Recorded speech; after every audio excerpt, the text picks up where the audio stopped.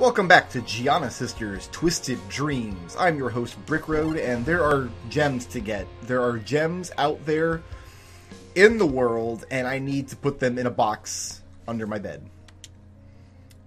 I am pretty sure that's where the Giana Sisters keep all their gems.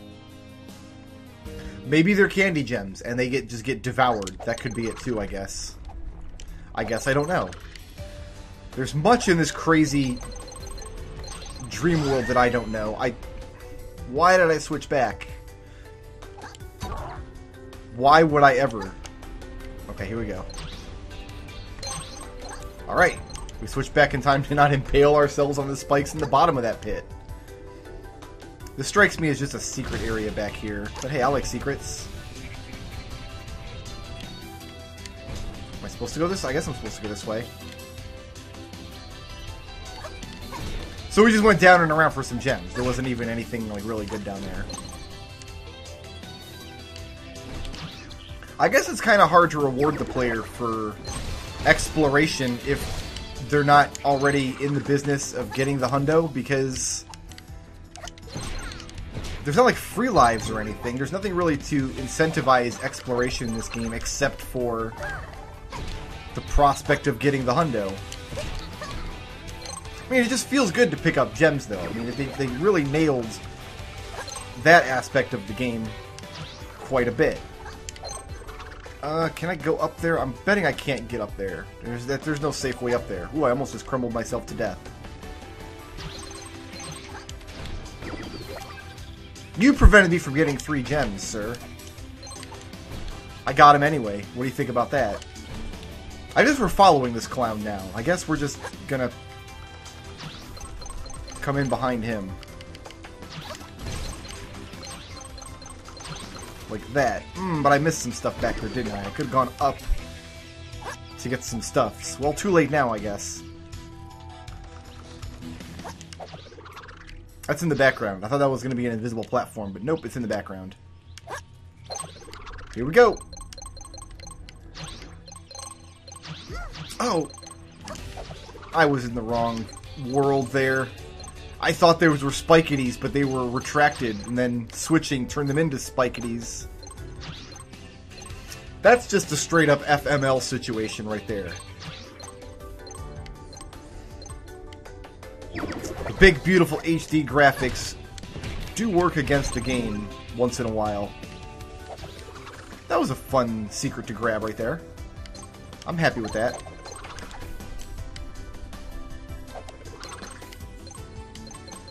It gets to the point where like a 545 gem level isn't even that much, to be honest. Woo, that almost went badly for me.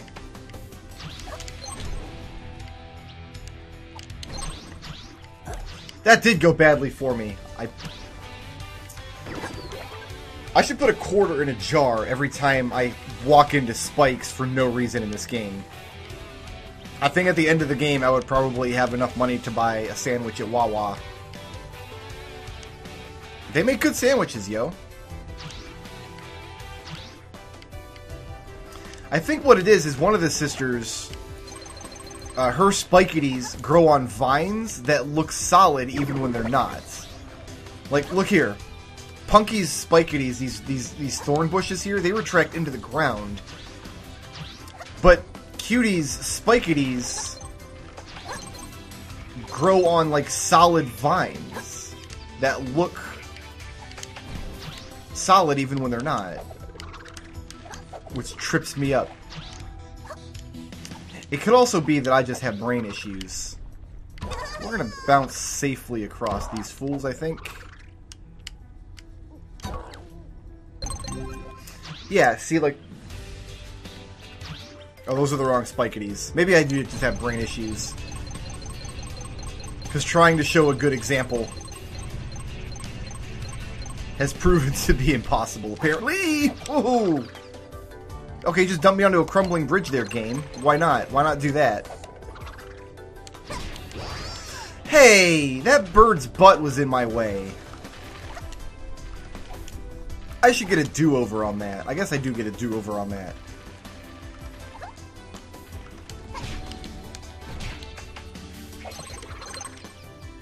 Is that it? I thought there was gonna be more birds to go up. Oh, I guess we're going down here. Aha! Whoa!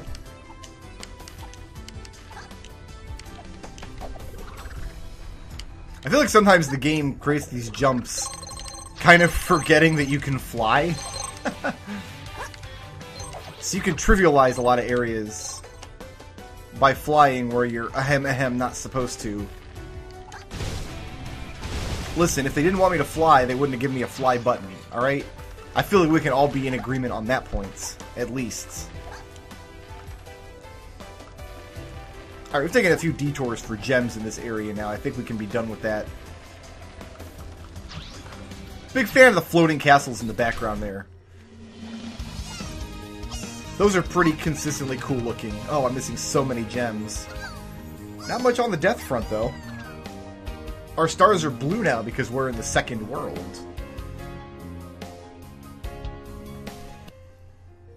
Going into 2-2, Old Crasher's Castle.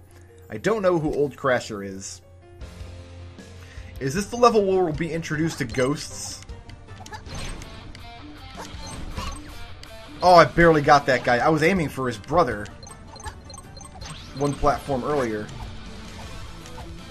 This is the level where they introduce you to climbable walls. You can climb up these bookshelves, and then in the outdoor areas, you can climb up uh, grassy walls. Walls with, like, moss growing on them. Clingy, clingy moss.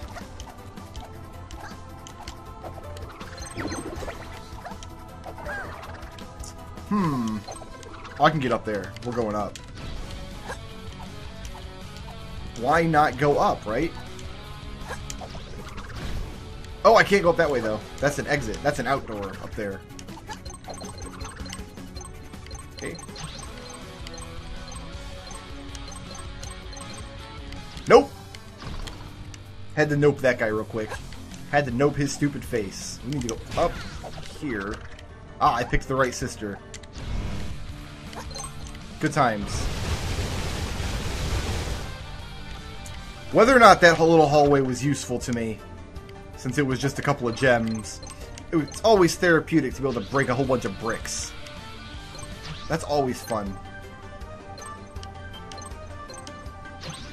As much as I've said that this game, like the graphic fidelity, creates issues for gameplay, I don't think the game would be as strong without the graphic fidelity that it uses. You know what I mean? I don't think the game would be as strong if you didn't have these super seamless transition between the two worlds, right?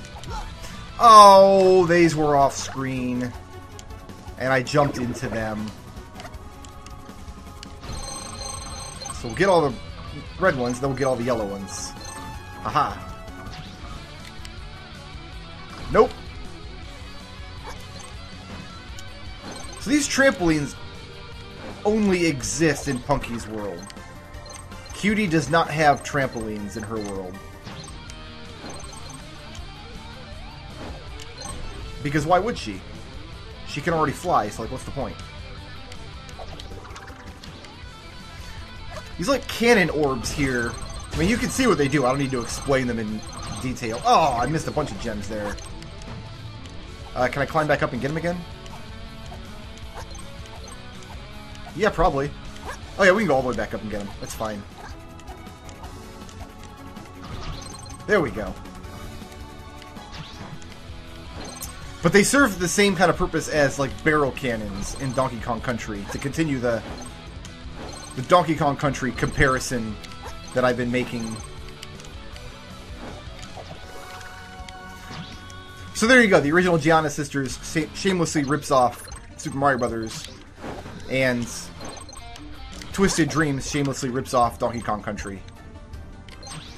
Um. Whoops. I'm glad that was a safe fall. That would have gone badly otherwise. Not high enough. We got to go up first. We could jump from here. Alright.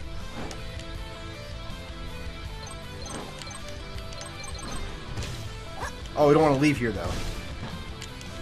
We want to make sure we get all the goodies. Now we can leave here.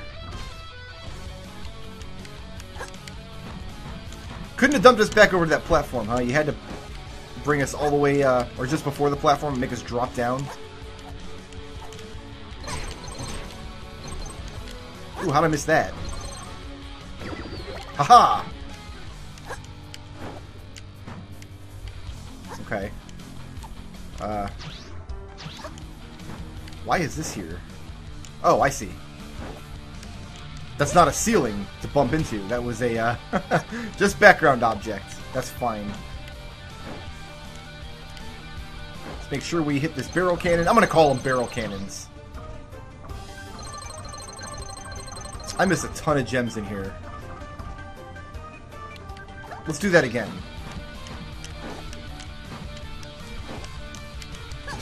Let's do that again and actually get the gems this time. The gems that are so important that I can't leave them alone, apparently. That's much better.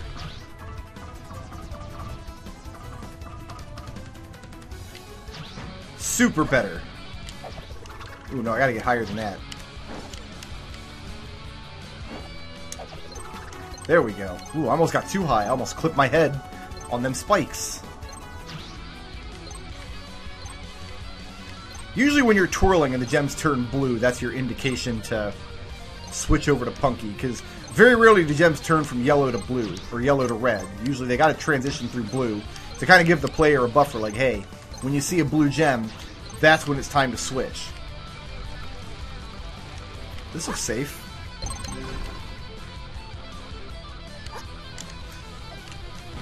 So, oh my goodness! I don't feel like I deserved that one, guys. Back me up, right? I did not deserve that one. I feel like the designers of this game, like they were geniuses in some aspect, like the gems turning from red to blue to yellow instead of directly from red to yellow. You know, giving the player an indication, kind of a little hint that, hey, it's time to switch characters so you can collect the gems. But then they do stuff like put Spiketies... I wanted to get that. How do I... Oh, use this. Just far enough off screen that an innocuous jump can clip them and you die. They do stuff like that. The designers had it figured out part of the way in this game.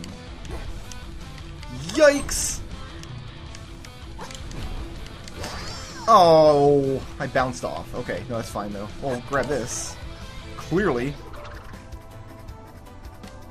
The game has a lot of great design ideas that help the player out, and then it has just as many design ideas where the player is kind of left to his own devices.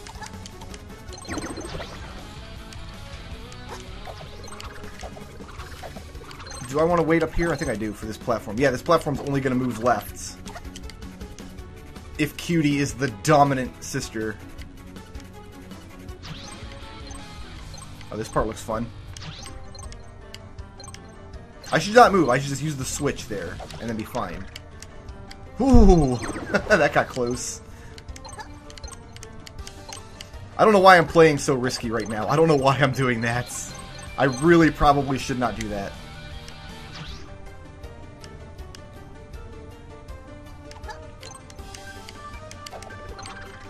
I really should be switching more here. No, I guess I didn't need to. I guess I'm fine. Oh, I missed a bunch of gems over there because I decided to climb the bookshelf. I made the decision to take the shorter path and miss... I guess I could go back for them, but... Nah. Nah. This is a fun little side area.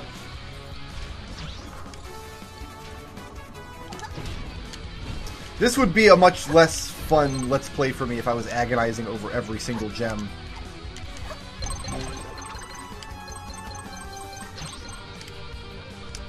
Primarily because I would have had to do some very in-depth test plays. Get in there, please! Oh, I could have went under it, I guess. But I already didn't do that, so...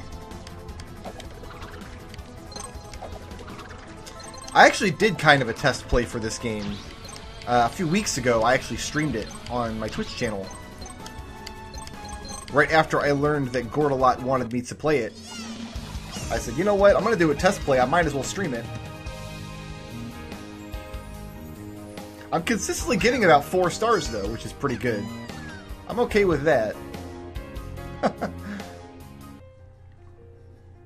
the spooky dungeon. How spooky could it possibly be? Because basically every level with Cutie is spooky. That's like her deal. Oh, it's going to teach us about keys. We need to collect five of these keys to open up the key block. Nope. That guy needed to get noped on. So we can't open this key block without the keys. No problem. Bounce, please. Hello? There, we can do that. Alright, so now we've got the box monster. He throws Spiketies out. What we have to do is stomp on him when he's an alien, turn him into a box, and then he bounces us. This is one another one of those monsters where you just have to learn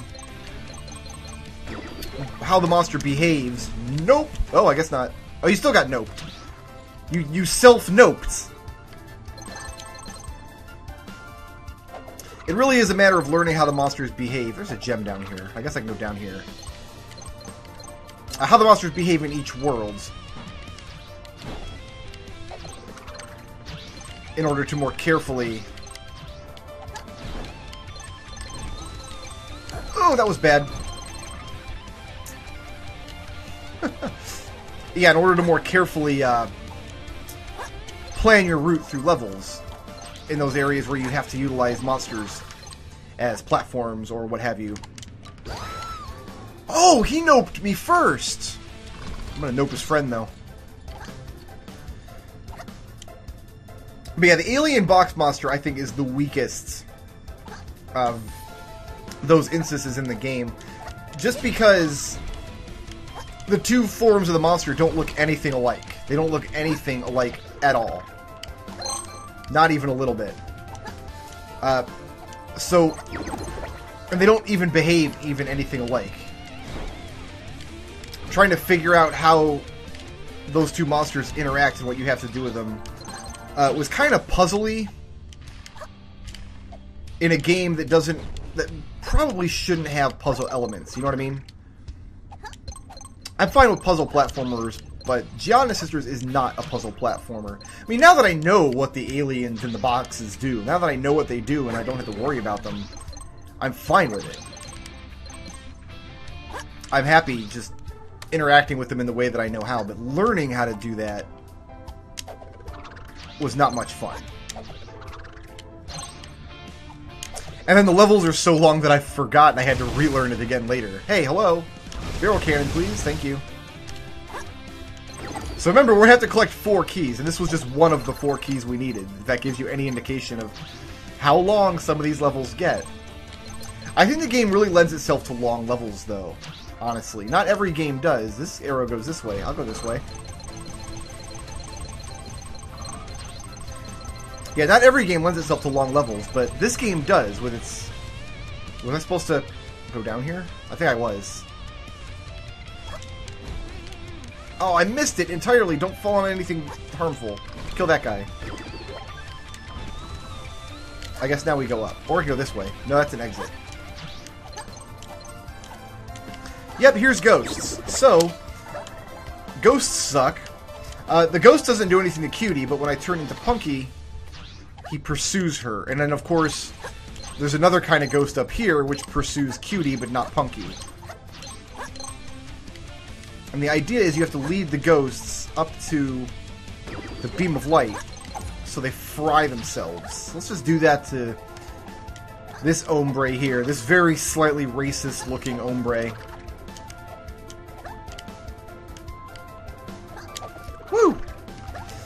And it's very easy to trap yourself with these ghosts if you are not being careful.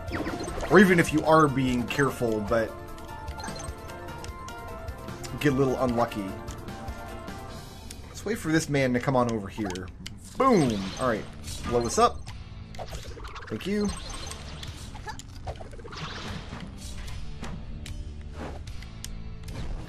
How did I miss that? It doesn't matter. This looks fun. Wait, wait, wait. We're not done here.